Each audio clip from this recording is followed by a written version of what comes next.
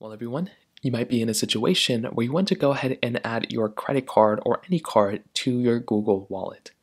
Now, doing this is actually a very basic process. The very first thing you're going to want to do is you're going to want to open up the Google Wallet application.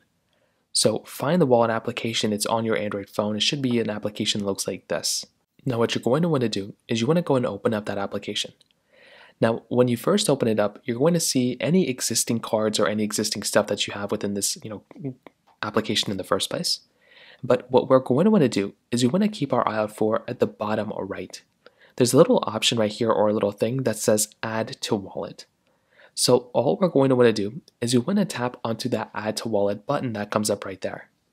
Then what we're going to want to do is we're going to have the option of basically adding whatever card that we have that we want to add.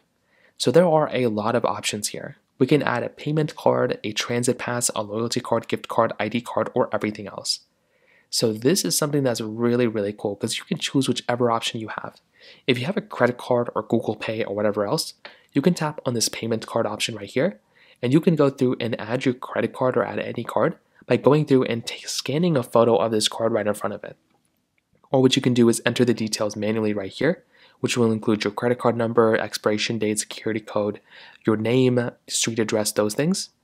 If you don't want to use any of those, you can also do a transit pass. So you can choose whatever transit you know thing that you want to do. So you can also use this just like this. You can also add a loyalty card. So if you have a credit card or loyalty card, whatever you have, you can add those there. You can also go through and do the same thing with ID cards or with your gift cards or everything else. So you have that option of kind of configuring it there. And then finally, it's going to be added, and that's all you're really going to have to do. So that pretty much covers it up there. If you have any other thoughts or questions, please let me know in the comment section below. Hit the like button, that would mean so much, but definitely hit that subscribe button. More importantly than everything else, I love every single one of you guys. Hopefully I'll catch you guys in the next video.